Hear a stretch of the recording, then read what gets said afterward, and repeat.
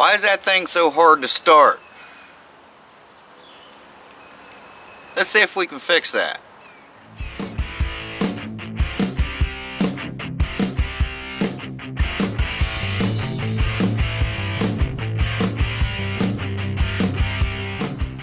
Alright guys, I was kind of messing with you in the intro because I already know what's wrong with this. Uh, I put some gas in it the other day and the gas had water in it. So now I think the float bowl which is up under here I think it's got water in it or it may not now because I did let this thing run for about a half an hour the other day but it's still starting hard. So I think either the water I put in it had or the gas I put in it had water in it already or it's just from condensation I'm not sure. But we're going to go ahead and take this apart. Now I'm not going to show you exactly how this comes apart. I'm going to fast forward through it because if you don't know how to take the carburetor off maybe you shouldn't you know get inside the carburetor. So let's go ahead and uh, take this carburetor off of here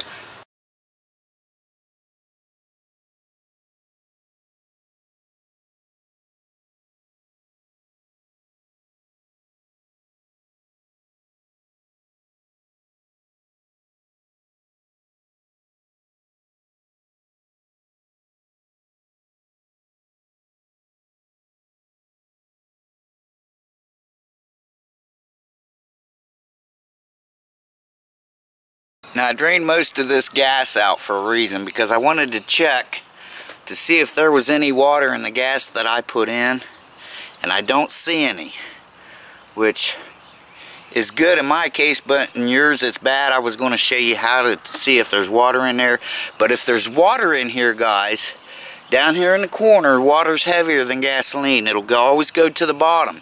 And down here in the corner you'll see like a haze it won't be like this yellow color. It'll be like a haze. It'll be almost clear. It'll look like like a gel or something down the bottom, but it's actually water. So I'm in good shape for this. So let's take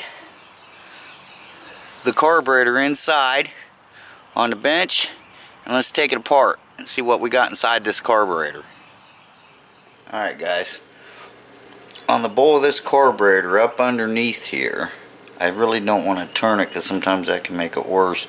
If there's any gook in the bottom here, it could put it in other passageways. There's what looks like to be a little bolt here. There, now there's a couple holes in, the in this bolt. Now we're going to take this out. It is a half inch.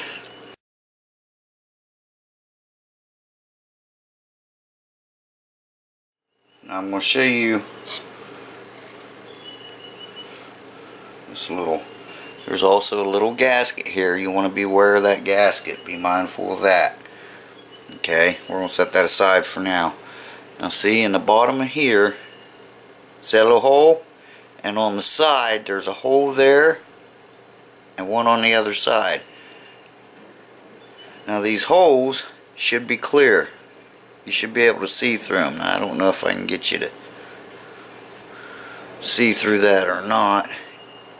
Yeah, see? It is clear. But anyway, that's the hole. You should be able to see through it. And, uh, let me see. I can see through it up in the light. So it's clear. So that's okay. Now what I see here in this bowl is I see a little dirt down in the bottom of that. So that's telling me that the carburetor is dirty. Yeah, it's it's dirty. The float seems to be working okay because it wasn't flooded out. So let's take the pin out of this float. Set that aside. We're going to take the float out and out comes your needle valve. That's what shuts your gas off once the bowl gets full.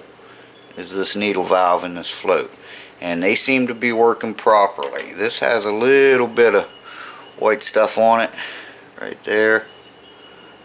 Comes right off. that's from water being in there so I don't think it's the water I don't think it's the gas that I put in there there there looks to be a little tiny bit in the bottom of that right down in that corner there I'll tell you what let me get a little bit of water and I'll show you what gas because we're not going to reuse this so I'll show you what what gas looks like with water in it okay? Now this is what I was talking about outside. If you look down inside there I don't know how well you can see that. See the difference in the discoloration? That's water okay that's how you can tell if there's water in it. You'll know immediately. It looks just like a blob.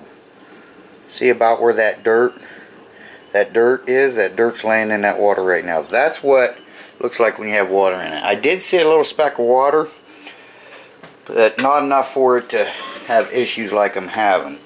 So let's get this set up here and we'll get everything set on a nice towel and um, Let's see if there's anything else that we can take out of this, which I doubt. And then we're going to soak it in carburetor cleaner. Okay, now we've got everything off of here except for this gasket here. This is a rubber gasket that goes around here. It's actually like it's an O-ring is what it is. Now this doesn't look too bad. This is a bowl. It doesn't look real bad. There's some dirt in there. That could be the starting issue. But look inside it here. See all that white stuff? Okay, that is from water being inside here and dampness. And that's what water causes uh, aluminum to do and this is aluminum. So the only thing that I can take off of here see inside there is right inside there is where your fuel goes up in through from this little bolt looking thing. That's why it has the hole in the center and then a hole in the sides. It sucks it. Suction comes through that little hole down inside there. That little hole over there. And it sucks it up through this hole which sucks the gas through them two little holes. Okay? Now, like I said, there's really no jets that I can take off of this thing except for this gasket here. And I'm afraid it's stuck on there pretty good. And I don't have another one of these gaskets. I don't think. I'll have to check. It's not like I said, it's more like an O-ring. So I'm going to check and see if I've got an O-ring. I have an O-ring kit over there, but I don't know if I've got one that big. If I do, then I'll be able to just go ahead and pull this off and replace it. But I'm going to check and see if we got that and then we're going to put these parts these two items here into the carb cleaner and we're going to let them soak a couple hours. Alright guys I don't have an o-ring for this. I did manage to get the old one off but it wasn't without cost. Okay?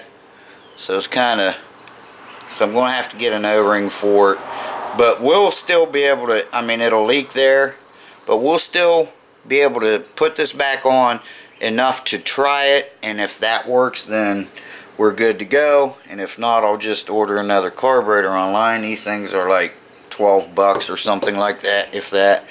So if the carburetor's no good then I'm not even going to worry about getting one of these. But if it is good I'll just run the parts store and get one of these o-rings.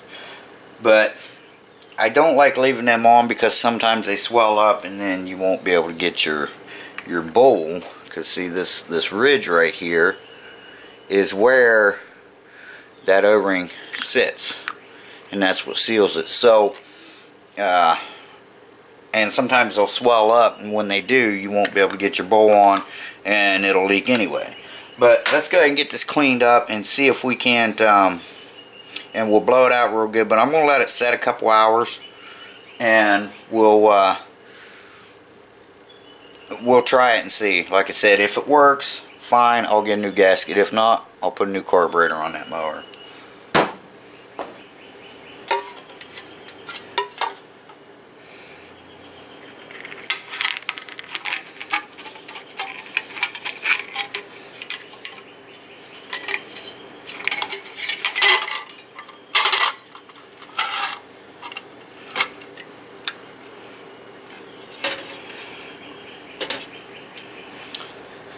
Now I'm going to go edit another video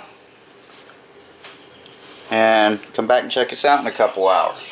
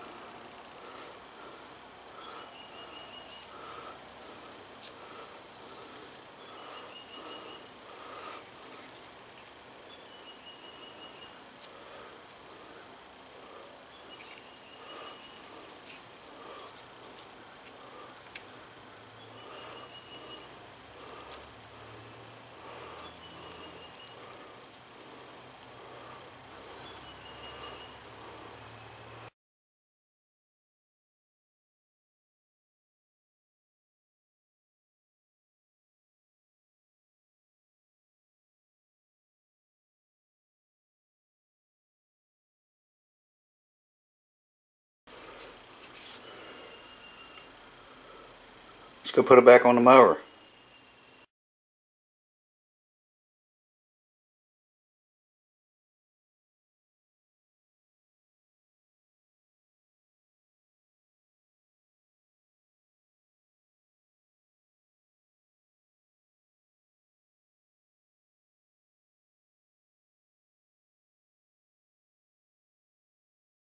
Let's see if it'll start any easier now.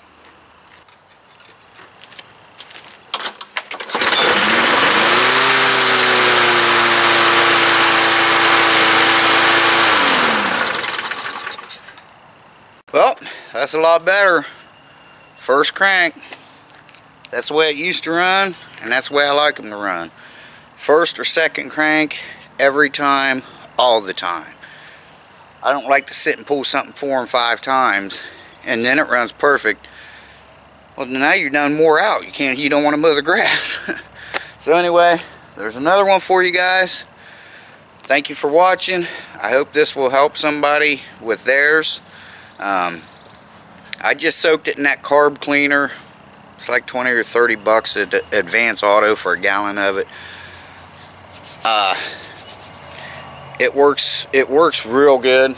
Um, but what I'd like to have is an ultrasonic cleaner to put that stuff in. That way it gives it a vibration, it heats it up, and it really does a great job. You leave it in there for 20 minutes, half an hour, depending on how bad your carburetor is.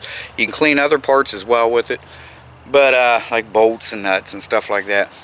But right now it's what I got, so anyway, again, that's the way it should run every time.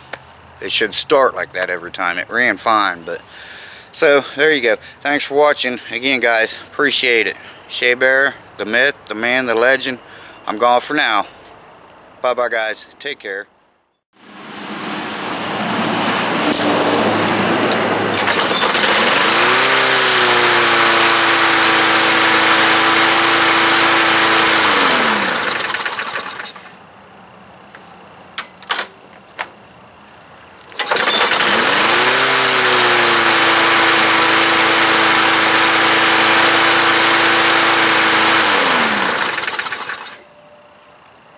Every time, all the time.